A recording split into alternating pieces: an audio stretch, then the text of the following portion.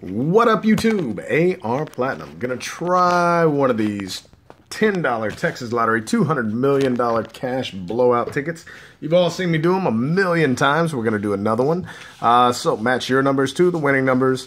Get a gold bar to win the prize. Get a diamond to win 10 times. That'd be nice. We got ticket number 19. Uh, pack number right there. And then overall odds 1 in 2.82. All right. Let's do this one backwards. Haven't done one backwards, I don't think.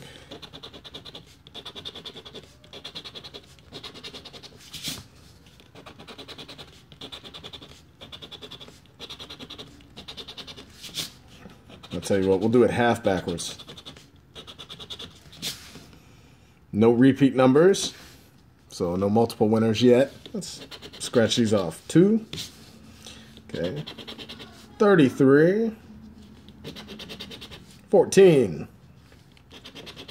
16, all these one-offs, and 22.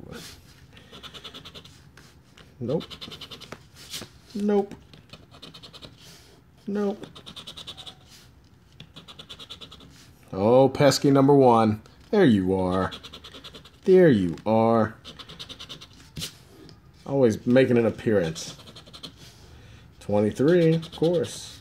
Of course.